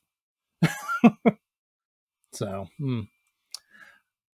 all right. Well, let's jump into our last story for the show tonight. This one's going to be a little bit of a discussion going on, but this one is in regards to the UK regulators vote to block the Microsoft merger with Activision Blizzard over their market share in the cloud gaming market. Now, there's going to be a lot of stuff I got to mention here first before we get into the discussion in a lot of quotes, so bear with me on this. But we haven't talked about this too much because it's it's been so back and forth, will they, won't they, that I didn't really want to dig into it until we had some kind of definitive news. And I think this is a big enough bump uh, to mention it. So the CMA, Competition and Markets Authority, has prevented Microsoft's proposed purchase of Activision over concerns the deal would alter the future of the fast-growing cloud gaming market, leading to reduced innovation and less choice for UK gamers over the years to come. That's from the CMA's official statement. They continue Microsoft has a strong position in cloud gaming services, and the evidence available to the CMA showed that Microsoft would find it commercially beneficial to make Activision's games exclusive to its own cloud gaming service. The, the deal would reinforce Microsoft's advantage in the market by giving it control over important gaming content such as Call of Duty, Overwatch, and World of Warcraft. They continue to talk about Microsoft's attempts to relieve these issues, but found a number of significant shortcomings and this was kind of funny, noting a lack of coverage for potential platforms such as cloud gaming or PC operating systems outside of Windows. I wanted to make a note about this and, and point out that almost no one makes games outside of Windows and Linux because Apple and their OS is so restrictive and non really yeah. conductive to gaming that it's kind of Apple's own fault. Linux has grown a lot in gaming. Uh, there's a lot of the Microsoft games you have to buy them through Steam, but I can play them on my Steam Deck. That is a Linux machine. They are built to run with that. Um, and then any attempt Microsoft had to introduce their games or streaming services to Apple or iOS have been blocked by Apple themselves because they wanted a huge cut or control over it. So that's not really Microsoft's fault for not putting it on there. That's that's like saying Microsoft should be punished because they don't release games on PlayStation when Sony won't let them release on their hardware because it's not their hardware. Um, and it's also noted Sony, who is the market leader, does not make games for Linux or Apple at all. Um, I think Steam can availability for some games to Linux, but that's it with the Steam Deck. So it's kind of a weird line to draw in the sand for this. Um, before I go on to Microsoft's response, do you have anything you want to say on this one? Well, um, the thing about this whole thing is, one, I don't think it's over just yet. Oh, I don't um, either. That that's one thing I, I think. The other thing is much like the um, Epic Games Apple uh, fight that Epic lost, by the way. um, shocker um, Epic is that a lot of dirty laundry has been aired because a lot of the documentation and the um, findings and stuff has been aired out public knowledge to be read over by people who love reading this stuff. And the big thing I saw here was, and somebody kind of carpent, uh, compartmentalized it uh, to basically either make you mad or just upset over the whole dealings going back and forth, especially mm-hmm. one of the last things you're going to mention later that the CMA says. Yeah, uh, which is really funny. But they said here, they said, hey, uh, players should never expect Final Fantasy 16 to be on any Xbox Series X, S, or Xbox One, and the reason is a weird one in the ongoing conflict between Sony and Microsoft. It has been revealed in release documentation from the CMA 3.67 that Sony has signed deals mm-hmm. with third party developers to stop them from working with Microsoft specifically. Yep. Square Enix has permission to work with others, presumably this would be after the six month exclusivity period, but Microsoft and the Xbox specifically is off limits to them. The exact details of the exclusion are not clear yet, but it means that third party games made for Sony likely won't be on Xbox at any time in the near future, may not be on it at all. And they they have a market lead uh, or you know Sony in regards to gaming far and above what Xbox does. You know, so the fact that they're able to do this and nobody bats an eye and they think that's fine, while they're airing the argument that they're worried Microsoft is going to do this, while they're literally doing it. And you know, they had the argument, oh, Microsoft will raise the prices of their games. And then Sony turns around, and I meant to bring up the story for this as well in a bunch of countries. They didn't do it in the US yet, but they raised the price almost uh, actually over double in some countries of all of their PC games. So if you want to get The Last of Us and all that stuff on PC, you're paying almost a hundred dollars or more to be able to get those games. Um, it, it, it makes sense now, you know, even what I just read, because a lot of times even including that indie world, is when Mhm. the indie, indie developers started talking about their games, or when you hear about Koei Tecmo or anything else, um, you kind of in the back of your head like, hey, all these games are coming out for PS4 and Switch. That's weird. Maybe it's because Xbox isn't doing well in Japan. That's not all of it. it's because they've been paid off. Yeah, I mean, so this whole point is it's got to be frustrating for Microsoft, and they they actually responded, and here's what they said: "quote We have already signed contracts to make Activision Blizzard's popular games available on 150 million more devices, or 150 more devices, uh, not million. Good lord, there's not even that many devices. I added an extra M in there, like Ron Burgundy just read it. Devices." Um, 150 more devices, and we remain committed to reinforcing these agreements through regulatory remedies, said Microsoft President Brad Smith. We're especially disappointed that after lengthy deliberations, this decision appears to reflect a flawed understanding of this market and the way the relevant cloud technology actually works. They continued the CMA's decision rejects a pragmatic path to address competition concerns and discourages technology innovation and investment in the United Kingdom. We remain fully committed to this acquisition and will appeal. So Microsoft's already said like this is a bunch of bull.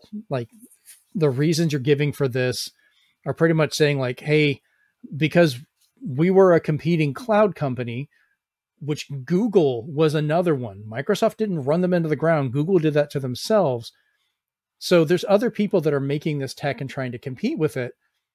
But apparently, since Microsoft was succeeding because they didn't make it just that, they were tying it with Game Pass and other things, that they're going to be punished for that. They're not going to be allowed to do these things. While Sony is, they've purchased and are merging with another company again. They bought another game developer. Um, you know, they're doing the raising of the prices. The proofs come out that they're buying off uh, developers, blocking, you know, with the stipulations of not being allowed to make things for Microsoft, like you said.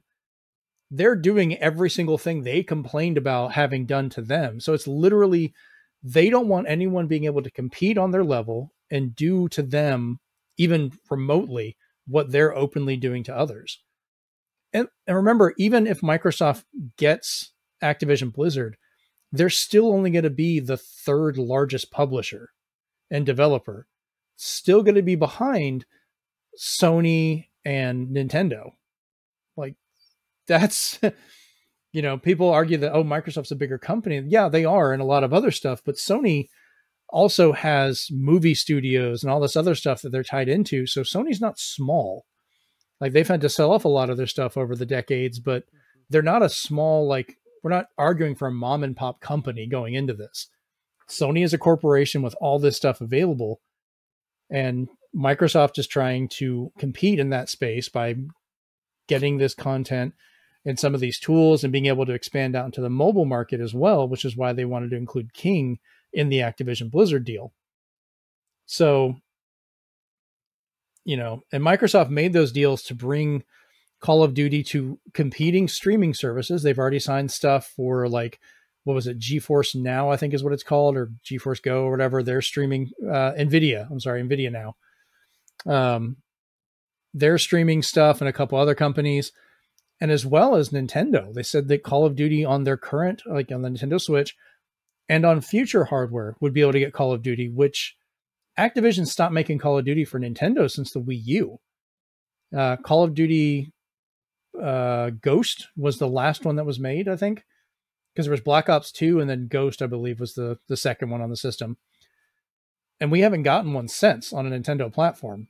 And they, at the time, had you know unique innovations that made them worthwhile they were not competitive with the other versions but you could play two players on one system online or local on the Wii U with the TV and the gamepad or you could use motion controls on the Wii you know with pointer aiming like they had their own features so this is where the extra note that you were talking about and I wanted to mention is funny the CMA came out and actually argued against Microsoft stating that Nintendo's platforms are not, quote, technically capable of running Call of Duty.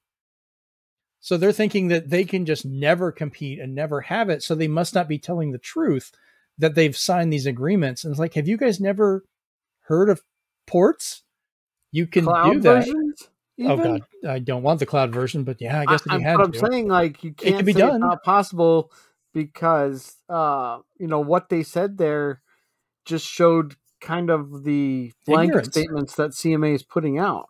Um to say that that we've had you've had Call of Duty Warzone and all this stuff mobile and it's been fine, but then you're Yeah. gonna say, Oh, but it can't work on a Switch. I'm like, but the Switch has had Apex Legends, it's had like it's had all the big shooters. as well Overwatch and Fortnite and yeah, it's it, it has them all. The only one it's missing is Call of Duty, and like uh and Battlefield. But yeah, you know, love it or leave it. It's like it, it, to say that, especially when they even said like future systems, that they're like, oh, you're you're not going to be able to put it on that.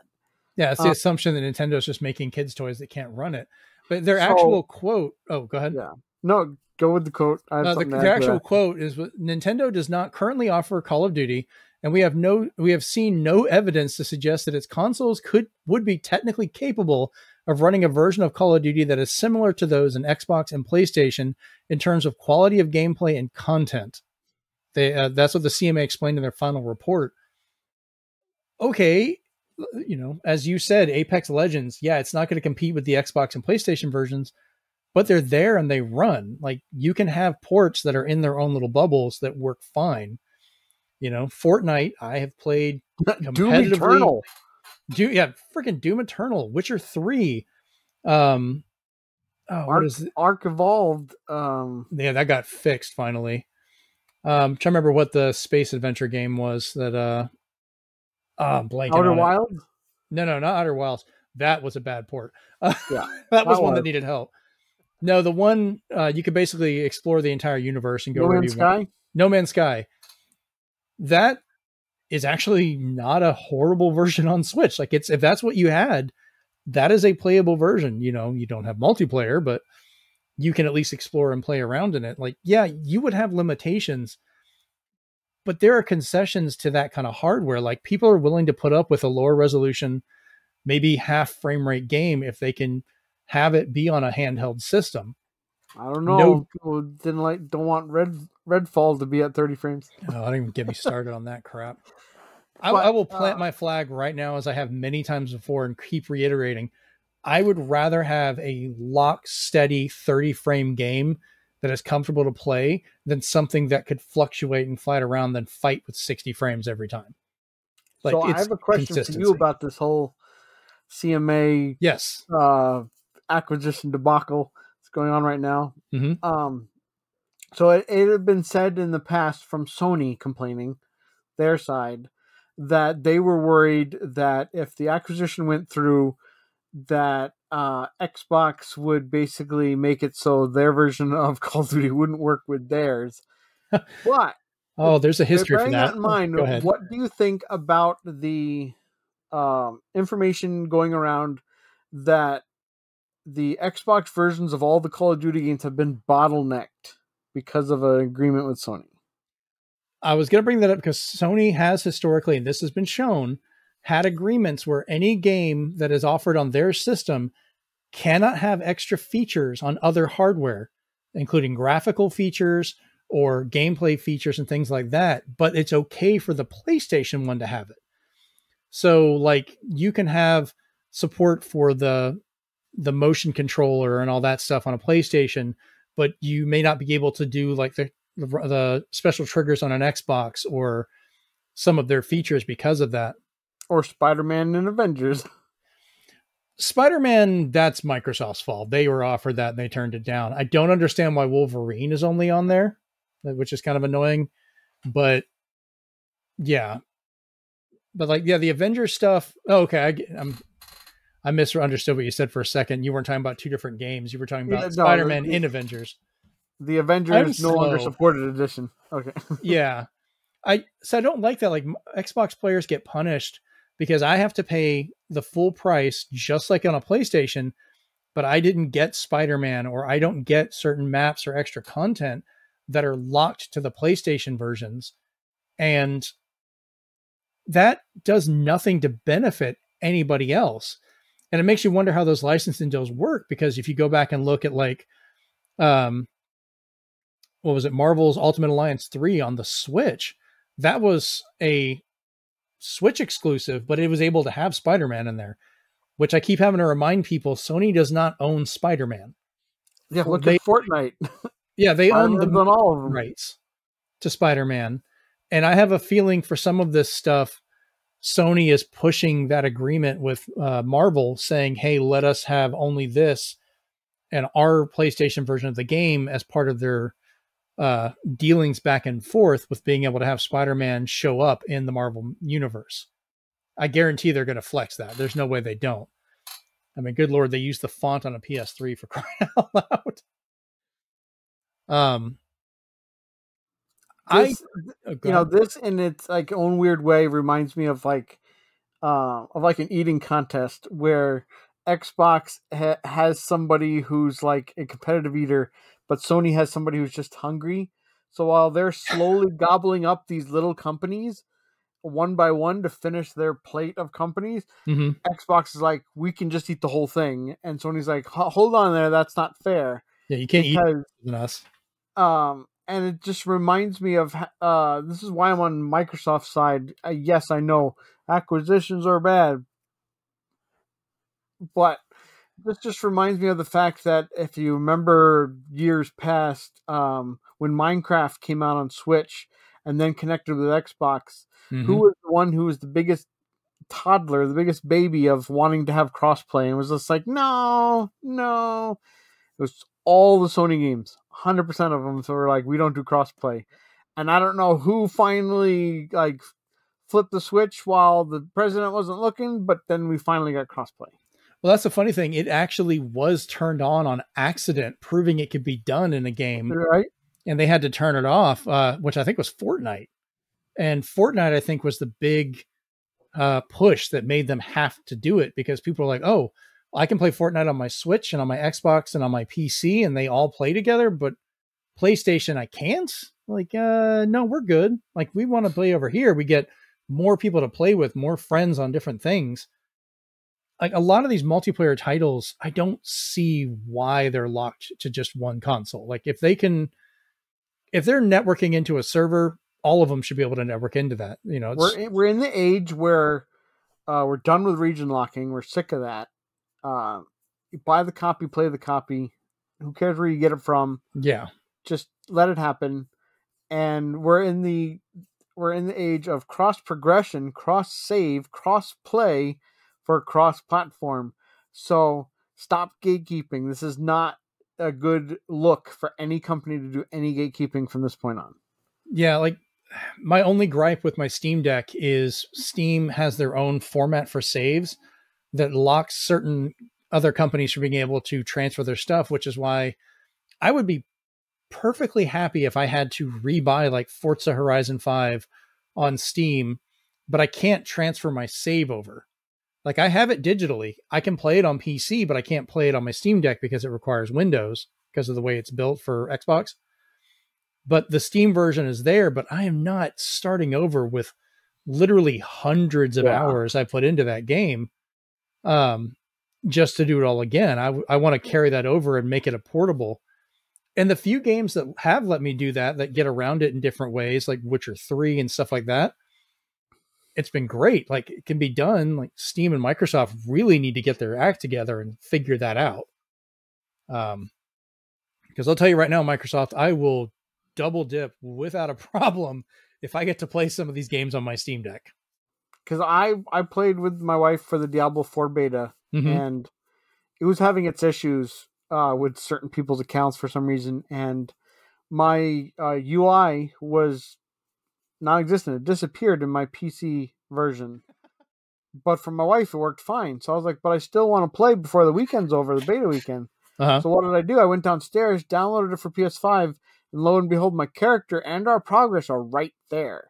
Yeah, isn't that like, great? And I was like, this is fantastic. And uh, in a new thing for me because I wasn't used to PlayStation playing ball like this, because of the Discord functionality, I was able to talk with my wife on her PC and we went in a Discord PlayStation chat specifically for the game because they said the the in-game chat is still uh, being worked on. The kinks were being worked out, but the fact that we could speak from a PlayStation to a PC was I was like, oh, this is unheard of because I was like, PlayStation talking to PC? Yeah, what? like it it shouldn't be an issue with these, especially. And it's funny, Microsoft, you know, Minecraft being the earlier example because that was the one when Microsoft bought it out that everyone was, oh no, Minecraft's going to get pulled for everything. You know, you're going to have to have an Xbox to play it, and that game is everywhere.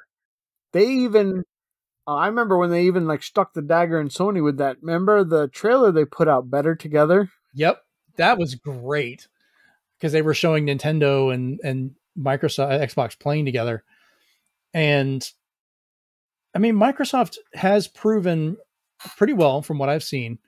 And yes, I do like a lot of Xbox stuff. I have a lot of PlayStation things, but especially with Minecraft, they've they did VR for PlayStation. Like you could get VR on the PlayStation 4 for that version of Minecraft and play it.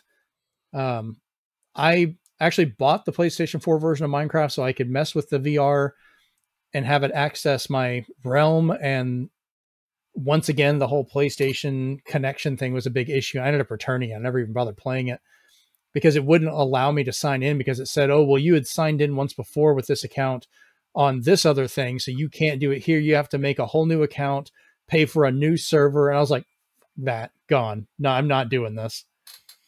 So Sony gets in their own way for this stuff while stomping all over everyone else's area in the playground. Like it's yeah, they're they become a bully in a lot of it. They're putting up their fight with one hand, and the other hand is making deals behind everybody's back to buy these companies. It's not even behind their back; like they're yeah. doing it blatantly. But well, well, well the, the rumors don't get out, but once the deal is finalized, suddenly they're like, "Oh yeah, we just bought another company while we're complaining about a co- yeah. another uh, competitor buying a company." And there's no investigations of those. And I think you're right. It's because they're doing it in smaller increments. Everyone's like, "Well, it's not that big a deal." Well, that not not big a deal that many times becomes a deal, becomes a big deal. You know, Microsoft's trying to catch up, so they were doing it en masse because you know, you get Activision Blizzard, that is a company. That's everything that comes with it. Plus, we get we had the bonus saying that they would force Bobby Kotick out. So it's like, come on, guys, win win. Yeah, hurry up and get this over here so we can fire Kotick. I want to see that happen. Lord. Well, I think that's a, a good time to wrap this mess up and we'll see what happens in the future. But we'll go ahead and go over where you can find us on the internet. So, Stephen, where can we find you online? Uh, you can find me lurking around Twitter uh, without a blue check mark thankfully, um, at loading underscore time. All right. And you can find me, Jeremy Powers, your host, over at Zenspath, Z E N S P A T H on Twitter. Also without a check mark, without much of a following. The few of you that are there, hi. Uh, um, you can also watch the video version of this at youtube.com slash zenspathcom. Um, the at Zenspath also works over on Hive when I'm over there trying to see if that's going to survive. It's on life support. I've tried doing Mastodon, but I don't even know what name to give you to figure that out. It's so confusing. really confusing over there. I've had nobody communicate with me on that, so it's. Oh yeah! Before you sign off, we need a four button podcast Twitter account update. Oh yeah, no. Once again, I have put in another report, and once again, I've been completely blown off. Okay. I just i am almost giving up at this point. They're never going to respond to me. I'm I'm not some famous rich person, so they don't give a two dams about it. But you can always come over and join us at, on Discord over at bit.ly slash Zenspath Discord, where you can talk with us. We can arrange times we can play games together. We can, you know, chat on there and do stuff. We got a few of our listeners that do talk to us on there, which are a lot of fun. Um, and we just want to be able to communicate with everybody. I'm looking at more ways to market the show. Like I've started leaving more cards in different places. I've tried. I'm looking at doing some more advertising on some other podcasts. Um, we've done some prior on like the Greatest Generation and those shows. I'm thinking about trying that again to see if it works because the last time we did it was with the old group, which I'm no longer with. So it's probably time to redo that. Um, and whatever other kind of marketing I can think of. I have somewhere around here. Yeah, come come to our Discord. Tell everybody you missed seeing Chris's face this this week. I'll just add his picture of his face, and we'll just say he was quiet the whole week. Um, but see, like even even tried. I made a hat It's actually a really comfortable hat. So I can make these if anybody wants one. Um, I'm working on trying to get us some music for the beginning of the show. Maybe try and edit in some interstitials. We're going to look at the format of the show of how we uh, arrange it to try and make it a little more formatted, so we kind of have a time period for everything. Not, like I don't want to be rigid about it, but I think we need to be more structured. Does that make sense? Make I think it would do us good. And we've we stick to that pretty well. A little bit behind, you know, a little behind baseball for all of us behind the curtain there. All right, well, we'll go ahead and end it from here. This is episode 87 of the Zenspath 4 Button podcast, and we're out. Peace. Tears of the Kingdom. Maybe Microsoft will buy us next.